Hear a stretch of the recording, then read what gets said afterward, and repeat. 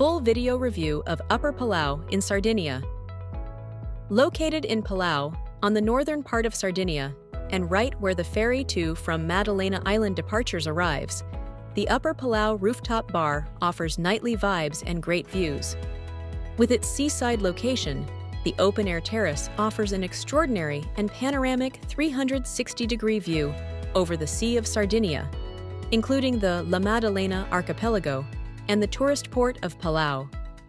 Opening at 7 p.m., the evening at Upper Palau starts with one of the coolest aperitifs in northern Sardinia